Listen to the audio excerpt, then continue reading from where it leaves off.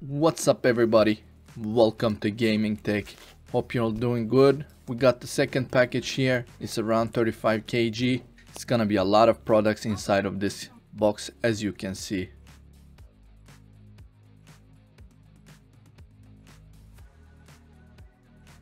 I'm a little bit sad because I got the wrong cooler here so I won't be able to use this in the build whatsoever since it's brown it had to be black so I ordered from Be Quiet got the Dark Rock Pro 4 version which is gonna fit with the theme that we're going for since we intend to have completely blacked out system.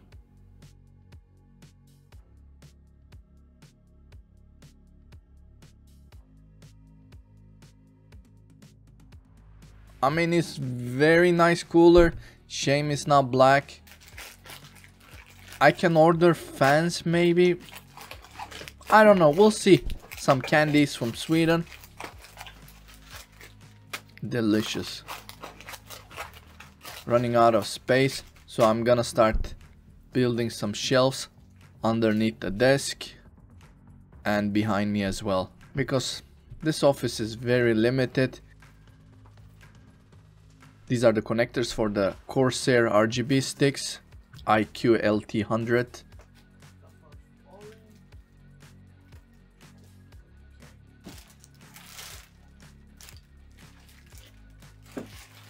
We got a monitor arm from Deltaco. Vacuum cleaner for a keyboard. No idea if it works properly, so we'll be testing. 12,700K there's another one coming as well so we will test which one is the best one 3070 Ti from Asus haven't decided which GPU to use in the system either it's gonna be 3070 Ti or 3080 we'll see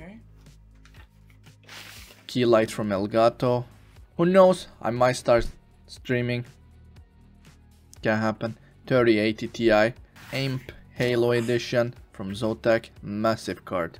Massive card. Okay, running out of space. Do you think we have another? Oh my god, this one is really heavy. I was surprised for the next card though. This one was also heavy. 3080 from Asus. Beautiful card. Barebone of the glorious keyboard. Some of you ask me why I still have 3060 Ti installed in my system. It doesn't matter for me. I swap out cards all the time. So chocolate fountain that I got for my wife. Oh the motherboard? And this was scary. When I saw that, I did actually freak out. I'm like, come on, man. But there's no problem. I checked the box. I checked the inside of it. Everything is fine. Some chocolate from companies once again. Let's take a look at of this box as well. Everything looks fine.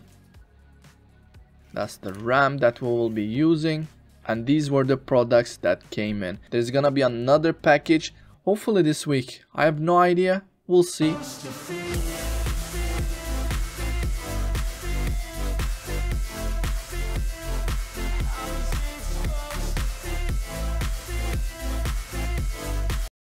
yeah that carpet is abused so let's ignore that part it will get replaced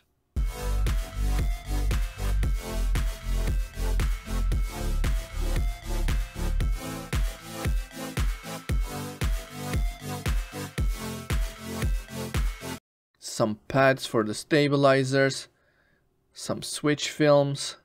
These ones are the solder version which is wrong but I think the pin itself should be able to penetrate that so it shouldn't be an issue. So we'll be building this keyboard also. Still missing some parts for it. Need some lube and the rest of the equipment for it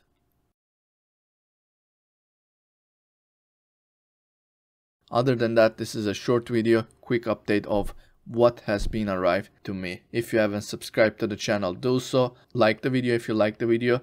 I'll see you on the next one. Let's go.